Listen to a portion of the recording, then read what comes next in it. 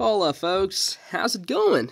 And today I'm taking you through, guess what? Well, you've read the title, Relume. Okay, so what on earth is this, you might wonder? Well, this is an AI whose main objective, let's say, for example, uh, the, the guys who behind Relume, their, their vision and their objective is that they want to give uh, us, you know, a solution that is like a no code, uh, or you can say AI web designer, or you can say website builder. So basically, they want to give us a no code required website builder. Okay, so kind of like that. Correct me if I'm like being too too dumb and cheesy with the description, but basically, it's an AI tool that helps you design and build websites faster. And don't, I'm sorry, that was a hiccup. Okay. Okay, so it's basically a AI tool, an AI tool that helps you build websites and design them with A's because it's it's an AI, right? It's helping you. So over here, as you can see, I'm in Relume right now, and it says sitemap project, uh, a prompt, sorry, sitemap prompt, primary sitemap.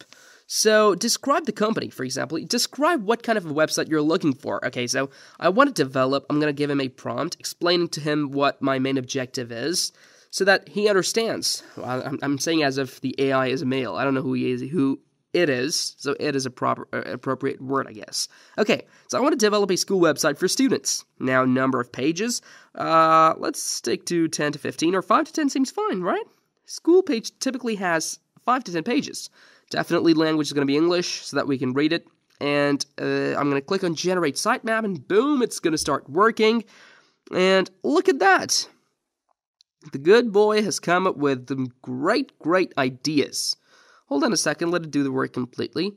So it's given me a sitemap. Look at this. It's so cool. It is helping me understand how I can make an effective website for school children or uh, for school students, okay? So look at this. There is going to be a navigation bar, hero header section, about section, okay? We can change the order we can change the names. We can definitely configure it to our preferences. Then there's going to be stats section, services section, listen to subscribe essential services offered, such as counseling, extracurricular activities, the student, and student support services.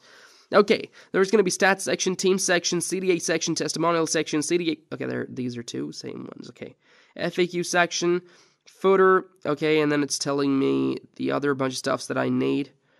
Okay, and now it's giving me another sort of like footer map, you can say.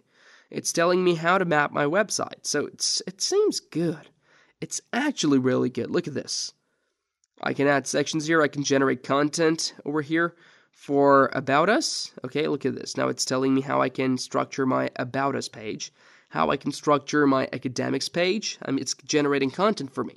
So it's really simple and useful. You know, if you're like someone who has no um, uh, in-depth experience of making websites and you're just stuck maybe you're, you're doing a school project or maybe you're just trying to get started and get your get your hands on on websites to get to know how do you make them and how do you design them and how you structure a website effectively then this definitely is a really good tool to help you understand and you know get an insight into how you can do it because see, I just give it a prompt that I want a website for school students. I need five to ten pages. Language was English, and I just told told the AI tool to generate a map for me, and it gave me the sitemap, which is really helpful. If you have a good sitemap in hand, developing the website is not as hard as without knowing what to do. You know what I mean?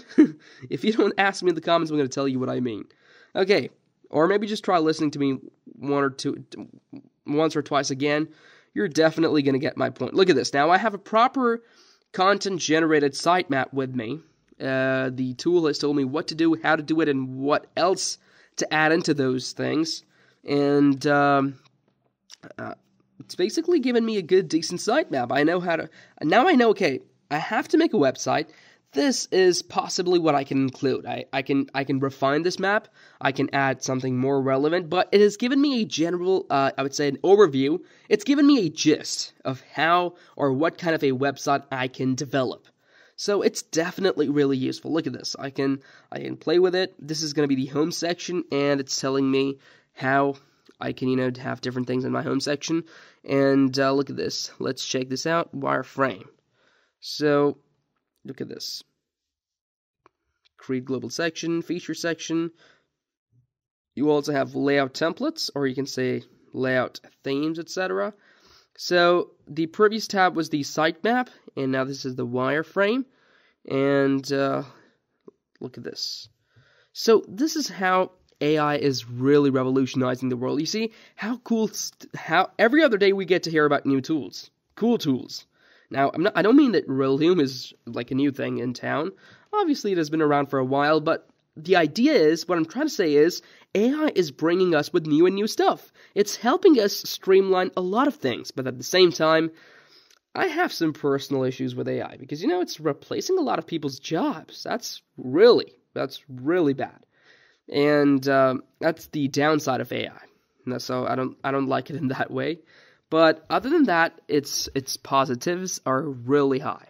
It's helping us, you know, do lots of cool things, expedite them, and uh, do things we might not have been able to do as individuals previously. So it's really good. And it's also, you know, making our work process efficient. You see how different tools like ChatGPT, Bard, and good guys like them, they're helping us so much. So AI is definitely a good breakthrough uh, by of, of mankind, but it has to be controlled definitely. So I can add in buttons, I can add in forms, I can add in, uh, I can replace components, I can add in more sections, and uh, I can add in uh, like sections of different layouts depending on what I need. I can showcase media, I can showcase videos, images, and you name it. It's going to be a proper website, of course. So I can make it interactive as well. So, but definitely this, right now we're just making a, a cool map of how we can sort of like structure our, our page or website. And uh, it's doing a good job. So it's definitely worth it. So I'm sure if you would want to get started with web development, or you're probably going to get st- you're, you're, probably starting to develop a website, you can definitely check out Relume and get a sitemap idea if you like it. Go with it if you want to refine it. Definitely, you can you can have your own. Uh, you can add a touch of or a flair of creativity of your own. That's that's no worries at all. So regenerate copy, replace component. Okay, columns is going to be two. Uh, style is going to be card or normal. So text alignment, okay, we've got a bunch of options telling us, asking us how do we need to sort of like uh, display things. This is going to be the FAQ section. Okay, answer common questions that prospective students and parents may have. It's definitely something that comes in handy, you know. Okay, so install Figma plugin. To export sitemaps or wireframes to Figma, you'll need to install the Relume library uh, I think the the st- st- stigma that's the name. It's the plugin, so you can definitely do it. It's easy, and uh, you can export your sitemaps and your wireframes. That's going to help you in your web development. Look at this, add sitemap. Okay, so adding to Canvas. Okay, my projects, team projects. Hold in second. There we go. That's our that's our sitemap, or you can say Look at this. This guy's out of place. What's wrong with it? Okay, rectangle. Hmm. This is this is basically our uh, sitemap on the uh, like on, on, the main screen. It's the sitemap visually presented. On the left hand side, we have like this this drop down structure of our website. It's like a breakdown telling us how our website is going to be structured. And on the right, towards the right, we have these uh, formatting options, changing colors, fonts, sizes, alignment, effects, and, you know, you name it, all sorts of formatting options, helping us make our sitemap more attractive and relevant to follow a certain kind of a theme, palette, or whatever. So, show prototype settings, scroll with parent. Boom. Position stay stop at top edge, stop with parent, scroll with parent. Okay, so overflow is no scroll, no scrolling. Now, creating a connection, running your prototype. Okay. Boom. Let's try this, don't you think? Okay. So, this is how you generally use Relume. It's really useful, and I hope you liked the video, and if you did, come on. Now do me a favor. I'm, I'm, I'm actually waiting for you. I'm going to count till five. You've got to go. You, have got to go and hit the like and subscribe buttons because come on, why not? Okay, boom. Let, there we go. Okay, one, two, three, go. I'm counting till five now. One, two, three, four, five. It was a little quicker, and I hope you did it. See you next time.